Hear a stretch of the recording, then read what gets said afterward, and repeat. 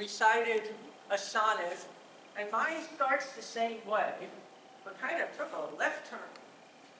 Shakespeare is always bitching about how time steals away wistful beauty. When forty winters do besiege my brow, and did crows speak bags about my eyes, my youthful gowns and jewelry gazed on once became as tattered weed, no longer cries.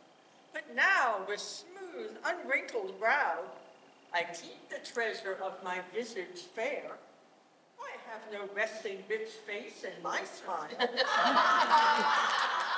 and have I not deep jowls of whitened hair?